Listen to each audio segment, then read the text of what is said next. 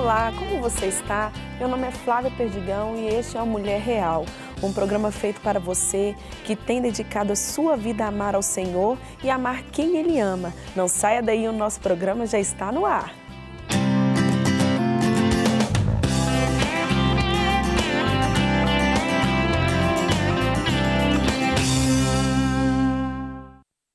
A vida é sempre uma surpresa.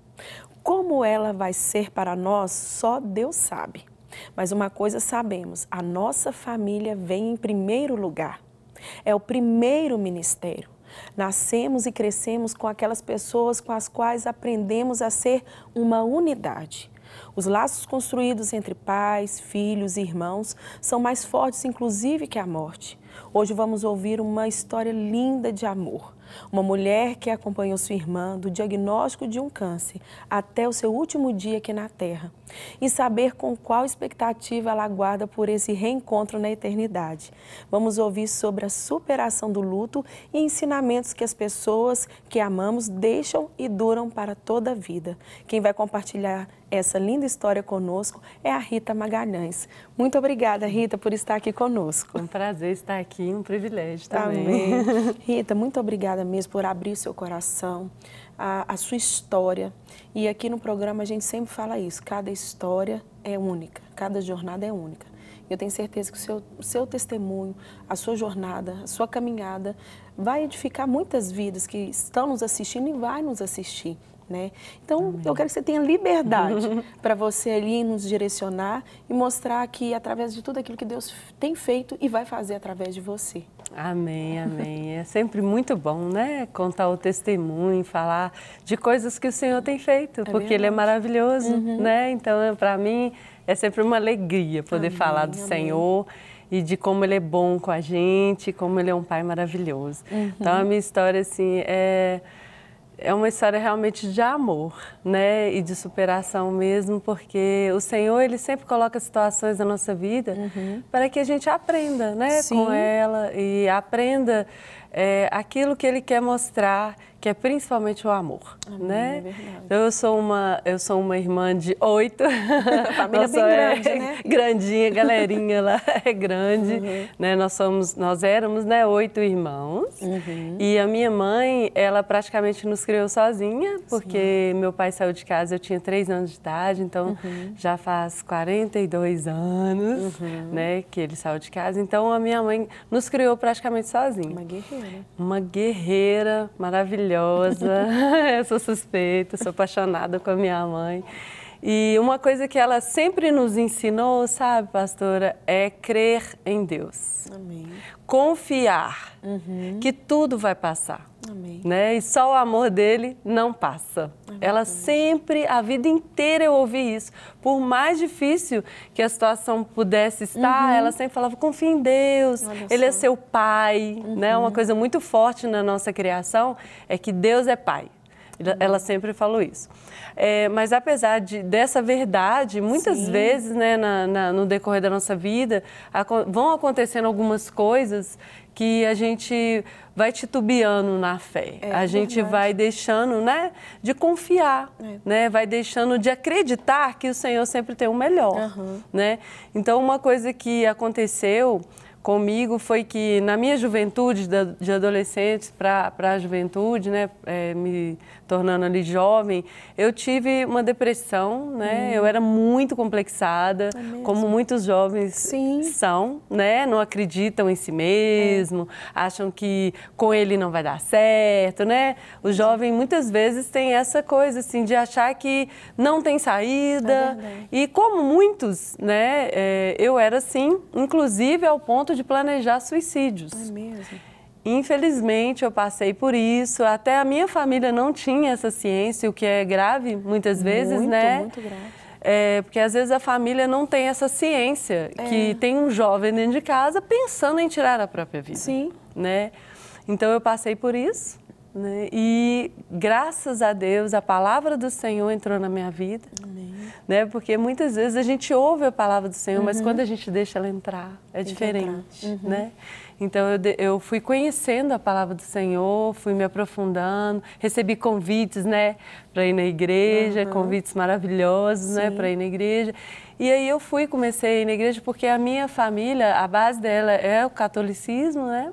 Uhum. É um povo muito de fé, Sim. mas aí eu fui conhecendo um pouco mais do evangelho, Sim. né? E um pouco mais da palavra, certo. né? Através de igrejas evangélicas. Uhum. E ali o Senhor começou um trabalho, né? Um mover na minha vida uhum. muito maravilhoso, onde Ele foi me libertando. E uma coisa maravilhosa que o Senhor tem me ensinado, uhum. não vou falar que eu estou pronta porque ninguém está, é né? Verdade. Estamos em obras. Uma coisa maravilhosa que o Senhor vem me ensinando é que a família é a base. O propósito de Deus começou com uma família, uhum. Adão e Eva, né? Sim.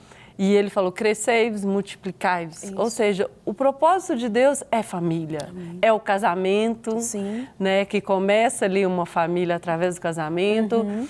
Então o Senhor sempre me falou isso. Quando eu era solteira, eu não tinha muita noção disso. Eu ficava assim, como assim família? E Deus quer uma família, eu não sou casada, uhum. eu não entendia. Mas o Senhor queria que eu me voltasse para a minha família como filha naquele primeiro momento. Olha. Filha dele uhum. e filha de alguém, que é a minha mãe, a Maria, Sim. maravilhosa. E ali eu me voltei ao Senhor e uma das coisas que o Senhor vem me ensinando e foi me ensinando é que eu não tinha muita paciência, né? Jovem impaciente, uhum. jovem que é as... ontem, né? Exatamente, quer as coisas do jeito dele, uhum. não pode mexer nas minhas coisas, é, aborrecida, chata. Então eu brigava com meus sobrinhos, uhum. né? Jogava tamanco. Oh, meu Deus. Era loucura. que era né, nova ali na, né, na fé né, cristã evangélica, né, digamos assim, que eu já tinha fé e tudo, mas o Senhor estava ah. me moldando, né? Sim. Desde o dia que eu nasci, Ele está me moldando. Sim. Então, é, o Senhor me deu aquela palavra em Timóteo que fala que se você uhum. não sabe governar a sua casa, como governar a casa de Deus? É verdade. Porque muitas vezes na igreja a gente é bonitinho. Sim. A gente é bonzinho, a, a gente tem paciência. Né? É. Uhum. Então o Senhor foi tratando isso comigo. O Espírito Santo foi tratando Amém. comigo. Eu lembro direitinho uma vez que eu joguei um chinelo no meu sobrinho, que ele estava me atormentando a vida. Uhum. e o Senhor falou isso comigo. E aí eu lembro que eu fui numa padaria, comprei um saco de pipoca uhum. e pedi ele perdão, entreguei para ele. Ele ficou me olhando assim. O que aconteceu? Uhum. Era o Senhor. Né, já começando ali, né, trabalhando comigo a questão da família e da importância. Deus trabalha em detalhes, né, Rita? Muito, né? E muitas vezes, o é, que, que acontece? A gente quer sair desse lugar, uhum. né? A gente quer sair desse lugar da família, de buscar uhum. ser boa uhum. para a família, de ser a sua melhor versão para a família. É então, família. o Senhor começou a trabalhar isso comigo. E aí veio, infelizmente, o diagnóstico de uma das minhas irmãs. Sim. Né, que veio assim abalando a família e aí também começou um novo processo de ensino é. né, na minha vida. Sempre vem, né? Um, uma nova etapa. Por mais Meu difícil Deus. que seja, né, Rita? Por mais difícil que a situação seja, infelizmente era um câncer. Uhum. E quando se ouve falar câncer, as é. pessoas já apavoram. Isso. Né? Então, com, como qualquer outra família, a gente deu aquela desestabilizada, mas uhum. o Senhor o tempo todo está conosco Amém. e nos ensinando. Uhum. Né? E ali começou um processo de ensino uhum. né? maravilhoso, terrível, porque Sim. nós somos humanos, a gente sente, mas também de um, de um ensino profundo sobre o amor, uhum. sobre servir, Sim. sobre amar na prática, é. porque falar é fácil muito fácil falar. Verdade. Né? né? E, ô Rita, e nesse processo todo aí, é, é claro que a gente tem pouco tempo para falar, né? Uhum. E foram anos, né? Foram quatro, quatro anos. anos, né? E dentro disso daí, é, quando começou esse, até do diagnóstico, como você falou logo aqui no início, vocês já entenderam que começou essa nova etapa? Como você falou assim, já começou novos ensinamentos. Isso já caiu ou foi no processo que você entendeu? E quando eu vi a palavra câncer, que Sim. minha irmã, ela estava com suspeita ainda de um câncer grave, uhum. gravíssimo. Eu, nós já ficamos abalados. Uhum. A coisa já mudou lá em casa. Porque uhum. todos nós ficamos tensos. Com apesar certeza. de crer ainda que Deus poderia estar dando um livramento ali do diagnóstico. Sim. Né? Mas não, uhum. nós teríamos que passar pela fornalha. Sim. Porque o Senhor é um Deus maravilhoso, que Ele não nos livra da fornalha, mas entra junto. É verdade. Né? Então, muitas vezes a gente pede ao Senhor que nos livre da fornalha, é. né? Como Daniel, né? como os amigos de Daniel viveram sim, ali. Sim. Mas muitas vezes Ele vai permitir a fornalha, mas entra junto com a gente. E foi o que eu vi. O Senhor cuidou, né, e nos ensinou mais, uhum. é, muito mais sobre o amor nesse uhum. período onde a gente estava ali servindo a minha irmã, não só eu, uhum. né, como também todos os meus irmãos claro. ali se movimentando em uhum. servi-lo. Mas é, eu ali entendendo a palavra, uhum. né, lendo, né, estudando há alguns anos a palavra de Deus, não que eu saiba, né, porque a palavra de Deus ela é maravilhosa, Sim. ela se renova. Quem sou eu para saber a palavra de Deus totalmente? Mas entendendo um pouco ali da Sim. palavra, eu comecei a ver um processo uhum. de Deus, não só na nossa vida, mas na vida da minha irmã também. Interessante que Deus vai dando sinais, né? Sim. Porque por mais difícil é, é, seja essa tempestade, há sinais que Deus está trazendo. Pode ser que às vezes não tão rápido a gente entenda, mas Sim. vai como um quebra-cabeça. Né? Sim, Deus vai certeza. montando as peças. Sim, com certeza. E a palavra do Senhor, Jesus mesmo falou, né? O que eu faço agora, uhum. só entenderás é. depois. E ali eu vi um processo muito bonito também na vida da minha irmã. Uhum. Porque se tinha uma coisa, pastora, que ela não fazia, era murmurar contra Deus. Oh, que forte. Porque muitas vezes, por coisas mínimas, a gente murmura. Sim, a gente murmura. Mulher, então, todo. né, é uma coisa, né? engordei, tô é. triste, vou morrer, Tudo, né? né? Quebrar uma unha. Não, é, não, não é às vezes, a dor sim, do outro. Sim, claro. Né? Mas nós somos assim, né? Nós somos condicionados a sempre murmurar, sim, primeiro. Sim, desde de sempre, né? Uhum. E a palavra também nos ensina isso, né? Que nós temos isso em nós de murmurar, é. né? Então, é uma coisa muito linda que eu vi na minha irmã, que ela não murmurava contra Deus.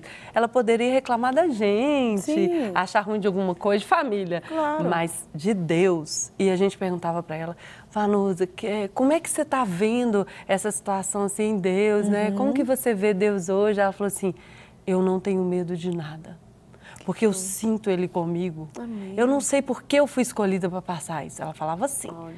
Mas eu entendo que Ele está comigo, isso Amém. que importa. Então, na fé dela, da maneira dela, ela nos ensinava muito, Com sabe? certeza. E sempre muito bem-humorada. ela ficou carequinha uhum. por causa da, das, das quimioterapias, né, que eram necessárias ela colocava lacinho de bebê na cabeça. Uhum. É mesmo? Carequinha com aquele lacinho de bebê Gente. e ria. E falava que estava igual é, o tio Chico da família Adams. Sim. E aquela, né, muito bem-humorada. cima, né? E até o fim, tá? É. Até o último instante, a minha irmã sempre foi muito bem-humorada, com muita alegria de viver uhum. até o último minuto. Porque a última coisa que ela me pediu foi uma Coca-Colinha. foi tomar um refrigerante e brincou com todo mundo. Né? Nós tivemos a oportunidade de, de ouvi-la, despedindo de todos nós. Oh, que forte. Muito forte. E uma coisa que assim, me marcou e, e que eu vejo nessa traje, trajetória que nós passamos é, era o servir com amor. Uhum. Porque por mais que seja cansativo, né, a maratona de hospitais, uhum. de, de, consultas e sempre uhum. ouvindo um diagnóstico contrário, né, porque o tempo todo a gente ouvia ali que era terminal, né, o tempo todo eu ouvia que estava tudo tomado já, porque infelizmente depois de dois anos voltou, né, o câncer voltou como metástase. A gente via assim Uh, o cuidado do Senhor, o amor do Senhor com ela, no sentido de nos confortar, de uhum. confortá-la e também de nunca deixar essa alegria dela ir embora. Pelo contrário, ela nos constrangia com alegria. E também a oportunidade de ver outros no hospital. Né? A gente conhecia outras pessoas e vendo a dor dos outros, a gente também começava a agradecer ao Senhor, porque em tudo a gente vê que Deus é maravilhoso. Desse amor um amor que é falado tanto, mas como eu disse agora, tem que viver na prática. Né? E você já estava falando conosco a respeito de um processo na sua vida, no cuidado de Deus com você, com a sua família, com a vida da sua irmã, né? que foi muito usada também para direcionar também muitas áreas no contexto também da sua casa, da sua família também, né? Sim. E eu gostaria que você desse continuidade. Tá bom. Então, realmente, quatro anos né, nesse processo uhum. específico, nossa, são muitos ensinamentos mesmo. Olha, desde o dormir no hospital, uhum. quando você dorme ali numa cadeira, é. que não é confortável, uhum. por amor.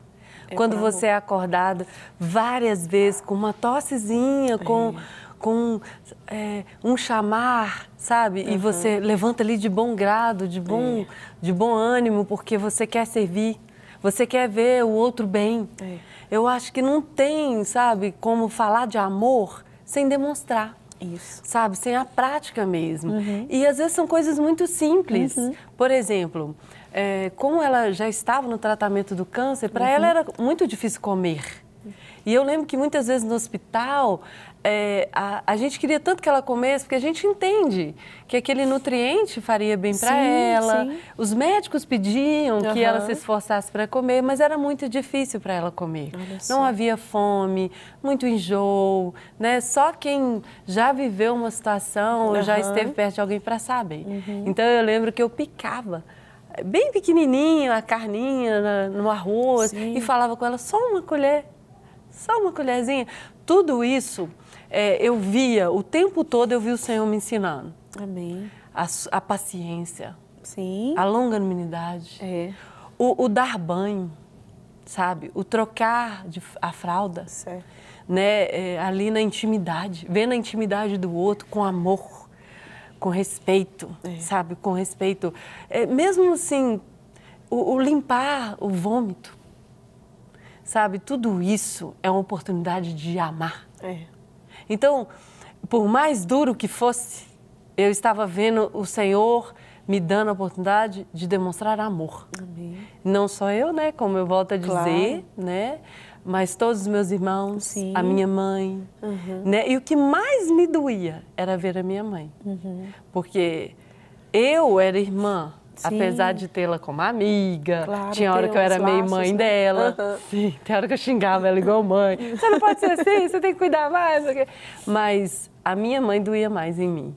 Porque, como eu tenho uma filha, uhum. eu pensava assim, nossa. Né? Eu lembro de uma vez, pastora, que eu orando muito por ela, nas madrugadas, Sim. buscando muito, em primeiro lugar, a cura dela. Sim. Né? E eu pedia Aliás, em primeiro lugar, eu pedia para que o Senhor a selasse com a salvação. Uhum. Porque quem conhece o coração é Deus. É. Mas como a palavra nos ensina que nós não podemos só crer no nosso coração, nós uhum. temos que confessar, uhum. eu tinha essa preocupação. Senhor, ela está pronta? Se o Senhor realmente não for curá-la, porque uhum. eu sabia que tinha essa possibilidade Sim. do não de Deus. Não, não Sim. vou curar, eu vou levar. Uhum. Ela está pronta? Por uhum. favor, Senhor, não a leve se ela não estiver pronta. Uhum. Mas eu lembro um dia que eu estava assim, né? É, na fé, eu falei, Deus, seja feita a tua vontade. Falei uhum. com a boca boa. Uhum.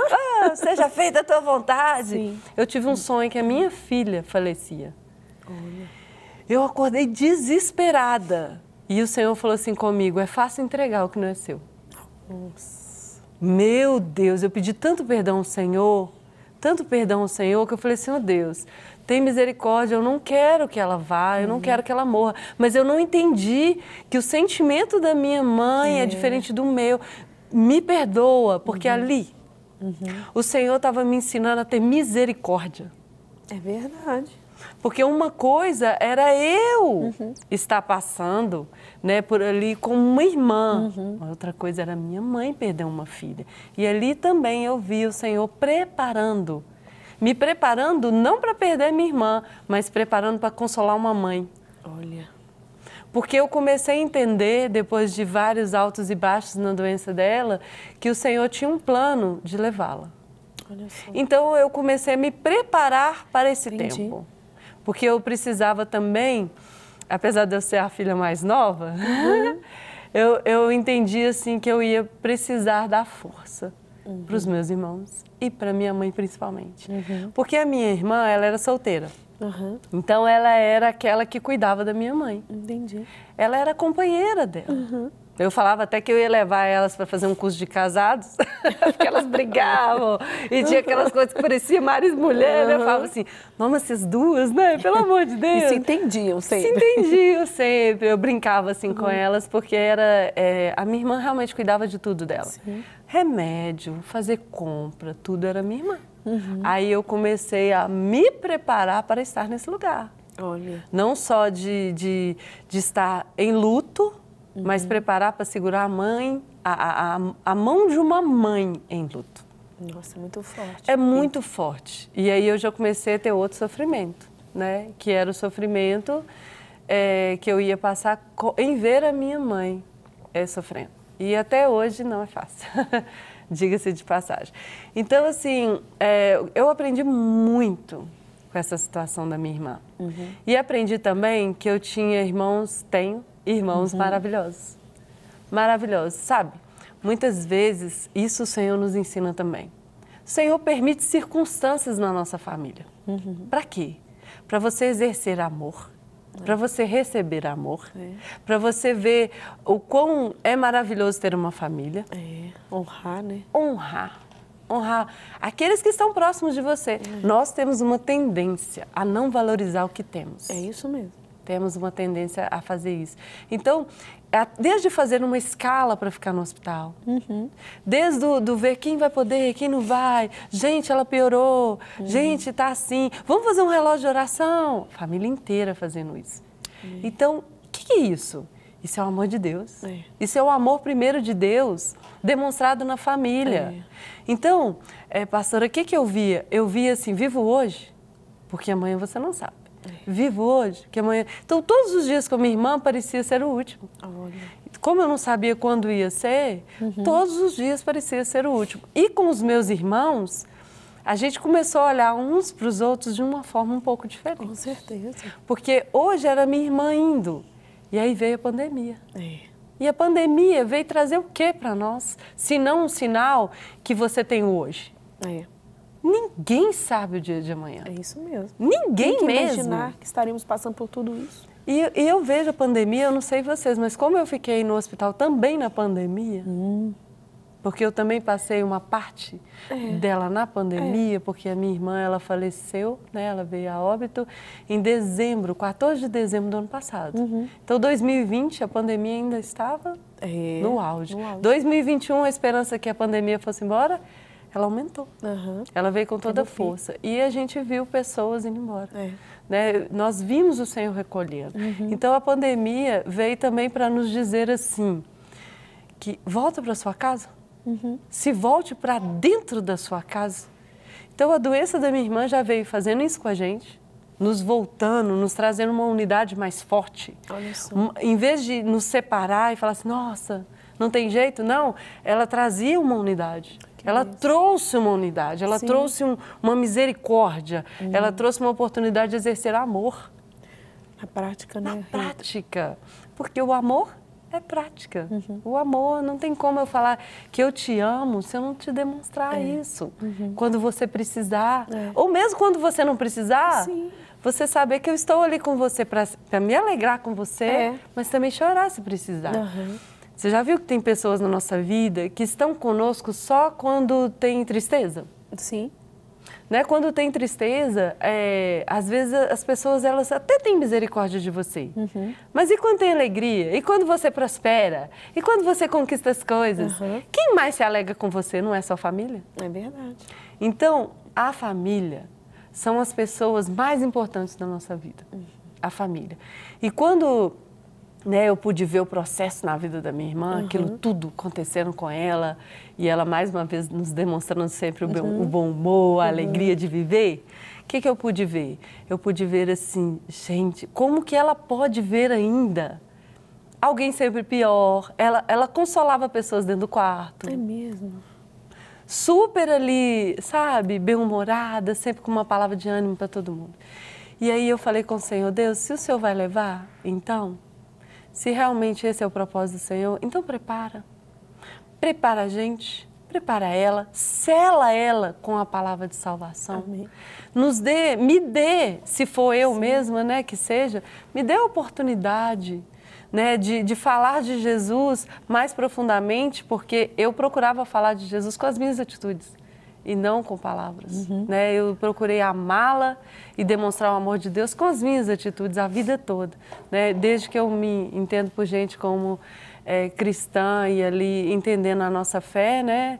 desde pequenininha, a gente sempre aprendeu isso com minha mãe. Uhum. Demonstre amor. O amor de Deus é demonstrado. Então, né? Mas mesmo assim eu tinha preocupação conhecendo a palavra de Deus, né? Sempre ali nas escrituras eu pensava, meu Deus, será que ela está selada realmente para estar com o Senhor? Uhum. Né? E a preocupação. Então é, eu pude ter a oportunidade de estar falando com ela da palavra, uhum. de ler a Bíblia, de né, eu tenho uma amiga muito preciosa, a pastora Maciele, que uhum. deu a ela uma Bíblia, porque muitas vezes as pessoas têm fé mas elas não têm o hábito de ler a palavra. É. A minha irmã tinha fé, ela tinha o temor de Deus, uhum. mas não, não tinha o hábito de ler, de Sim. aprofundar nas escrituras. Então ela ganhou a Bíblia e de vez em quando eu falava, olha, vamos ler essa passagem aqui, vamos ler esse salmo aqui. Ela lia, ela ouvia, uhum. ela tinha aquele coração aberto, né?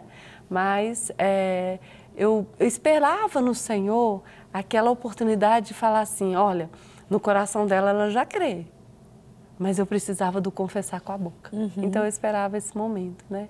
Então houveram alguns diagnósticos que a gente recebeu Sim. como fim. E aí eu perguntava ao Senhor, Senhor, é agora? E o Senhor falava, não, ainda não. O Nossa. tempo todo, o Espírito Santo ia nos conduzindo, sabe? Nos mostrando que ainda não era a hora. E no final, né, quando realmente a gente já tinha o diagnóstico final, que ela ia durar poucos dias, é, eu tive a oportunidade de orar com ela. E aquela mulher maravilhosa, né, que foi a minha irmã, ela pôde confessar Amém. também com a sua boca, Amém. né, que Jesus Cristo Amém. era o Senhor da vida dela e que ela esperaria estar na eternidade com Ele. Ela confessou isso com a boca dela. Hum. Então, é, pastora, com, com a sua permissão, né, claro. né, eu gostaria de falar com você agora, né, que está nos ouvindo, que está assistindo esse programa, você não está aqui à toa. Você não está ouvindo esse testemunho à toa. Em primeiro lugar, ame a sua família. Valorize quem está do seu lado. Hoje é o dia de amar. Hoje é o dia de você demonstrar amor. E a palavra do Senhor fala aqui, ó. Porque se com a tua boca confessares a Jesus como Senhor e em teu coração credes que Deus o ressuscitou dentre os mortos, serás salvo. Pois é com o coração que se crê para a justiça e com a boca se faz confissão para a salvação. Porque a Escritura diz: ninguém que nele crê será confundido, porque todo aquele que invocar o nome do Senhor será salvo. Então, sabe de uma coisa? Sabe por que eu estou feliz hoje? Não é porque eu não tenho saudade da minha irmã, não. É porque eu creio que ela está com o Senhor hoje na eternidade, porque ela confessou com a sua boca, ela cria no seu coração, mas ela confessou com a sua boca. Então hoje, eu não sei se você já fez isso. Se você crê com seu coração, aleluia, isso é justiça na sua vida. Mas confesse com a sua boca hoje Confesse hoje que Jesus Cristo é o Senhor da sua vida. E olha, se você perdeu alguém, saiba de uma coisa que o Espírito Santo tem falado ao meu coração. O Senhor tem recolhido pessoas para estar com Ele. Uma palavra que o Senhor falou comigo quando a minha irmã ia partir, Ele já tinha me avisado. É que hoje mesmo estarás comigo no paraíso. Então Amém. eu estou triste pela minha irmã? Não, eu estou feliz porque um dia Amém. Eu vou encontrar com ela Amém. em nome de Jesus. Amém. Amém. Rita, muito obrigada Nada. por essa palavra, por abrir o seu coração, por compartilhar tantos ensinamentos para a nossa vida. Amém. Eu muito que obrigada, agradeço. Viu? Amém. O programa de hoje está chegando ao fim. Muito obrigada pela companhia. Espero que você tenha sido abençoada e tenha sua vida transformada pela linda história de amor que nós vimos aqui. Para continuarmos em contato, nos siga nas nossas redes sociais e interaja conosco. Até o próximo Mulher Real.